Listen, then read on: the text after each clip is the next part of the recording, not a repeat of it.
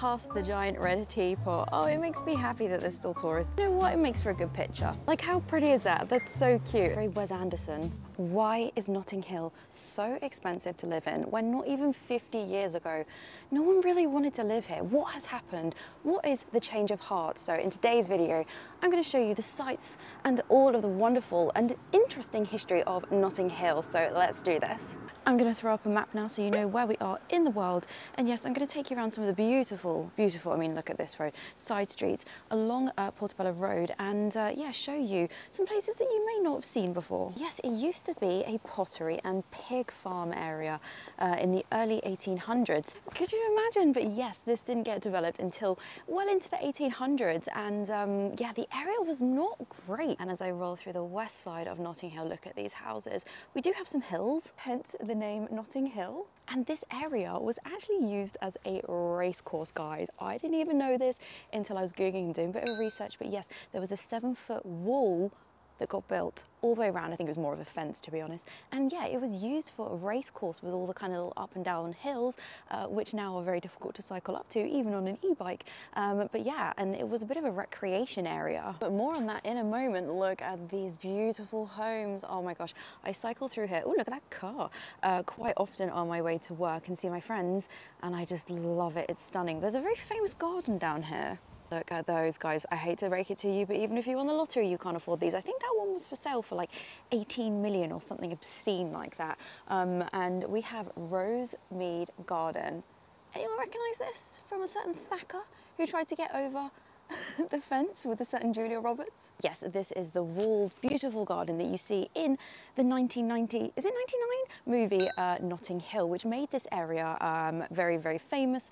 I don't know anybody, I don't trust anybody who doesn't like that film, okay? It's definitely in my top five of romantic comedies that I adore. And I'm so glad it's sunny today. I've been trying to film this for a long time, and if you're in the UK, it's been raining for about a month, hasn't it? But saying that, the weekend that I am uploading this is the Notting Hill Carnival. And I'll tell you a little bit about the history of that because it's really interesting. And I didn't know this until recent times. Um, but it's meant to be 23, 24 degrees. So I'm hoping when you watch this, it is sunny. But if you're watching this in the future future, um, bring a coat maybe and an umbrella if you're coming to London because it's always raining. So I mentioned that race course. It didn't last for very long. It was only a few years. Some say five years, some say eight years. Um, and it closed down. And there was a guy called James Ladbroke, uh, as in Ladbroke Grove, obviously got named after him. And he was like, I want to develop the area. And um, yeah, it wasn't until about 1900 that this area kind of became nice and they started building actual buildings for residents. I have to show you Portland Road. I cycled through here very, very often. And the other morning, I think it was like 7 a.m. And I thought, oh, this is a vibe. Got to show you in a video. But yes, the houses were all very, very nice. It was an absolute planning and residential development failure I mean, look at these buildings, they're gorgeous. But yes, it was just too expensive and no one could afford it. So the big houses, they had to be converted into multi-households.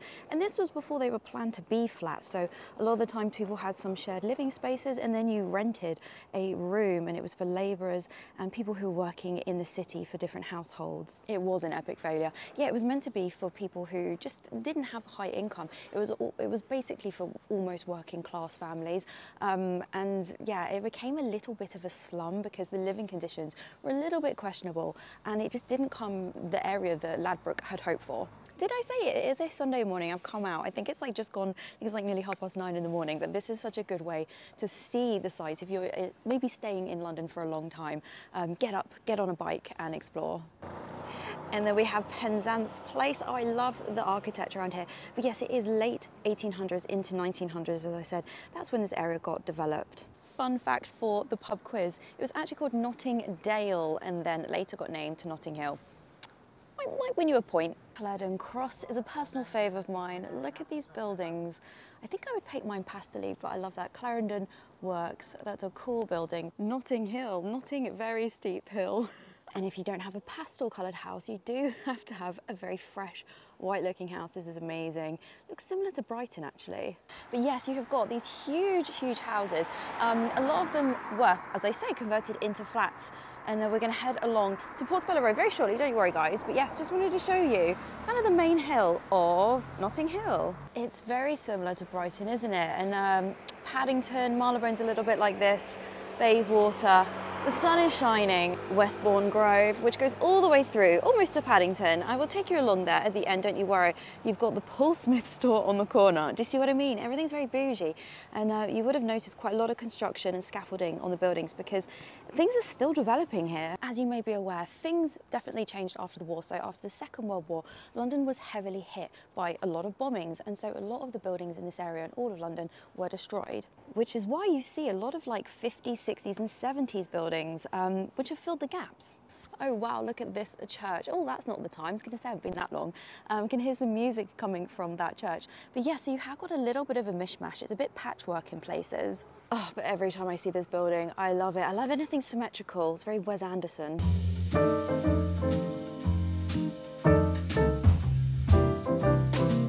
I think they should have called it Notting Crescent. There are so many crescents, these beautiful curved roads, and these houses, yes, would have been houses and converted into flats. Now, some people are bougie enough and rich enough, and they've converted them back into full households. Oh, and you've got one of the little green taxi cabs um, where people can go and get refreshments. If you're a taxi driver, black cabbie, you can sit inside and you know have your bacon sandwich and everything. Oh, but look at this cute little street. But now we are a stone's throw from Notting Hill uh, Gate Station and I'm going to take you along and let's see, can I cycle down Portobello Road? I don't know. Guess we'll find out in a few minutes. Sunday morning for the win. I'm on Pembridge Road. If you guys visited London, have you been here, you would probably have experienced. I can't believe how quiet it is. Uh, maybe part falling off the curb here. This is the little walkway down to Portobello Road Market and it has all these cute little shops and you'll see lots of shops that have a musical influence, bric-a-brac and lots of knickknacks. Which brings me on to why is Portobello Road so famous? Like it's surely just another market. But um, as I was saying, post Second World War in the late 40s, it was just another market in London. Nothing really to shout about or call home about. Um, but basically it became kind of known for knickknacks, bric-a-brac. The rag and bone man was here selling his bits and bobs. And um, yeah, it just became known to go and get your stuff from here. And it was still had fruit and veg and different different food options um, and antiques started to come in when more things came in from overseas. And like I said, where it was meant to be, in theory, a more affordable area, also needed kind of cheaper secondhand things. So hence why, oh, nice car. Um, it did really well. Yes, supply and demand. So this area was a nice place to come and get your cheap bits and bobs. And today you can still get some really fantastic things. I'm gonna show you antiques, food, knickknacks, and I love seeing other people's kind of proper tourist videos and seeing what bits they got. I watched someone the other day and they bought some doorknobs and went back to America. And I thought, that's kind of fun. Everyone always loves getting little pics of that first curve as you come around. And uh, we kind of hit the tourist area, which I love. It's so cute. And yes, I'm gonna head down to the market. This is weird because it's pretty quiet along here. As I said, I think it's about 10 to 10 on a Sunday morning. If you wanna get your Instagram shots, you need to come down early. And uh, yeah, this is a residential road.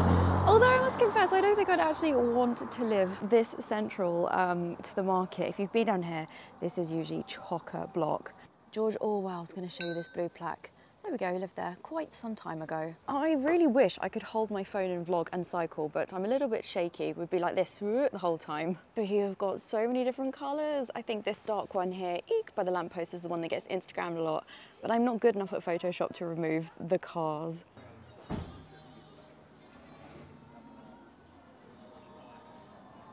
I love the random tropical trees in this part.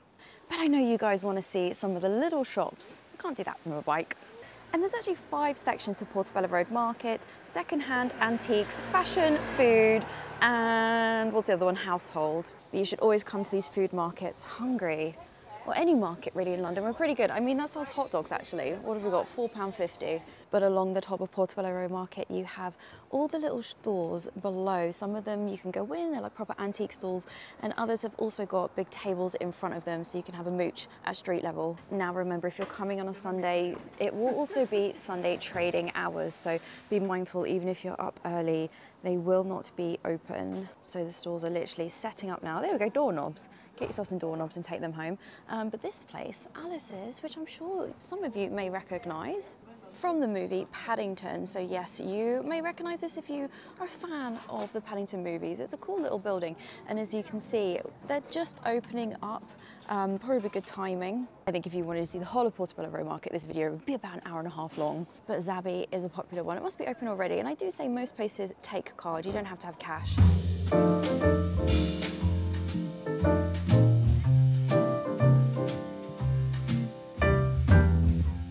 For the Instagram people out there, Denbigh Terrace is one that always gets filmed a lot. Look at these. I think one of the houses was getting redone a while ago, but yes, the ice cream, I always call them Neapolitan, minus the chocolate, ice cream houses. But do remember people, these are people's homes. I know I'm being a hypocrite filming them, but don't be standing too much on the stairs. Now, this is a perfect example. So on the left, all the kind of late 1800s, early 1900 uh, homes, beautiful buildings, the back of that church that we saw a while ago. And then you have this development here on the right, which, yeah, was done, I guess, what is that, 50s, 60s. And why is it even called Portobello Road Market? Um, it basically came from um, a battle back in the 1700s in Panama between the Spanish and the Brits. And guess what? The Brits won. We used to win and we used to look after a lot of countries. We used to rule half the world, but that's a long, that's another story. Um, and yeah, and it just kind of stuck and people use that name, Portobello Road. Past the giant red teapot. Oh, it makes me happy that there's still tourists here, even on a Sunday morning. Oh, a print and map shop. I don't think I've ever noticed that before. Um, I really like the old shop fronts and how all of them are, yeah, quite different. Um, so you do have that kind of 50s, 60s sprinkle every so often. Oh, they're doing the pub up. Very nice. Yeah, the Earl of Lonsdale. A kind of like old man pub. Open for usual. Gosh, that's a big sign. Um, but and then we're going to cross at Westbourne Grove and head on further down. So where are we in the world? I started the video over here. We looped up. Uh, you probably are coming from the station if you are looking to visit. And I've gone all the way down here. We've had a mooch. We've had a mooch, and I am here. And we're going to head on further down and show you some of the famous places from the film Notting Hill and maybe Love Actually, if I remember. I always think that little tea room on the side there, Sally Clark, is so nice, like a little bakery. Good place to grab a coffee. You've got some art shops, a very, very expensive, as the bus passes, da, da, da, a very, very expensive uh, fishmongers. I think it's a, um, a, general store as well. And on the other side, um, just some really nice restaurants, to be honest. It's definitely very fancy. So Second World War, what changed? Um, the city had been heavily bombed. There was a lot of labour that was needed and there were other countries who were really interested in immigrating over to the UK, in particular into London. And one area was actually the Caribbean. So a lot of people came over from the Caribbean to London for work. And due to the potential of a booming economy over here in the UK, a lot of families fully immigrated over and stayed here. And Notting Hill was where a lot of people stayed. It was relatively affordable, dare I say, with those split housing situations um, in Notting Hill and then up to Ladbroke Grove. And um, yeah, this became their home. But I do have to acknowledge where it is a Sunday, you would usually have um, market stalls all the way down. This is actually quite nice to come down here um, when the stalls aren't here. So if you do struggle with crowds, definitely do come on a Sunday. There's still lots of little stalls on the left. I'm trying to give you tips because if you've watched my Camden video, remember I'm doing all these free tours. This is like a free thing to come and do. Um, and uh, whether you're going to come to London or not, do check out my free things to do in London playlist. I've got quite quite the selection on there now. I'm working my way through. Speaking of which, if you're enjoying this video, please do give it a thumbs up. Just click, click, click. I would really, really appreciate it. Really helps the video. Oh, there's a Colombian coffee store there. I've never noticed that. Hermanos. And yes, you've got quite the selection, whether you want some tourist knickknacks, some hats, some belts, some leather goods.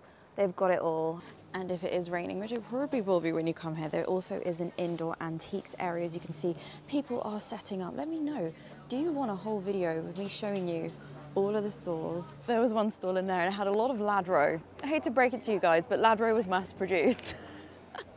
I feel like my family back in the day, my grandparents, and they thought the Lladro was going to pay the mortgage off. Yes, so that is where the indoor market is. And as we go around, we get a little bit more um, kind of rough around the edges. It's not quite so pristine. And actually, there's usually market stalls in front of this. So if you do come on a non-market day, uh, you get quite a good view. But I do have to mention, even though this is the Notting Hill Bookshop, it was actually filmed across two different locations. I'll show you the other one. It's kind of under construction at the moment. But you know what? It makes for a good picture. And in recent years, Paddington has definitely started to make an appearance from a merch perspective, shall we say, along this street. And you really can make a full afternoon of this. You can go to the pub, go for a browse, and you can see here we've got some kind of regular shops down here as well. And then the row of really posh shops. So then what happened? So 1950s into the early 60s, things were like not fantastic in this area. Um, as you can see, the buildings, they, they've been renovated and updated now, but they were all kind of, you know, a bit shabby yet not chic. And not to go into the political side of things, you know, in my videos, I like to keep them light-hearted. Um, basically, the Notting Hill Carnival was a bit of a peaceful um, reply to a particular riot that happened in the late 1950s. And it wanted to be a really fun celebration for the Caribbean culture. And um, yeah, a big get together with a whole street party, a literal parade celebrating uh, different parts of their history and their country. And as you're watching this, I'm purposely trying to do this in time so you know a little bit of Notting Hill if you do read about the carnival because it's this weekend. It is every uh, August bank holiday. Most people do get a bit annoyed about it because they basically have to board everything up. Because it's such a energetic uh, festival, shall I say, um, things do get a little bit damaged. So a lot of the houses, all of the streets, um, you will probably see it on the news this weekend. Um, unfortunately, they do have to board it up, which is a shame. And I know it is controversial because of the cost. I think it's just a good laugh. Have a good time, guys. But yes, that brings us on to the electric cinema. Grade 2 listed cinema. Couldn't get it in shot, there we go, 0.5. It's absolutely beautiful, very, very fancy. There's always pictures of like famous people coming out. They do have the diner next door, which is meant to be lovely. And a personal favourite of mine is the distillery, which is the home of Portobello Gin, which I think you can buy in supermarkets. I feel like I bought it in Tesco or Sainsbury's before. There we go, Sainsbury's. I am starting to get hungry. Look at these goodies. Oh, almond stick.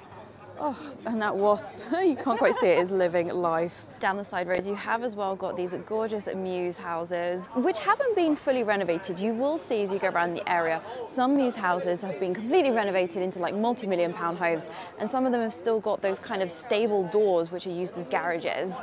And speaking of doors, do you recognize this one? Yes, so this outside was filmed here, but the main part was actually down by Westbourne Grove, because as you can see, there is not the house that Thacker lived in. Yes, across the way is where the uh, bookstore technically is, and it had a blue plaque. And this kind of thing makes me really angry. Look, they tried to make it really nice with different scenes and some losers who've got nothing better to do have come along and vandalized it. So yes, that was the scene that I was trying to show you uh, from the beginning of this film. So that is a bit of a shame, but hey, some people just need to get other hobbies, don't they?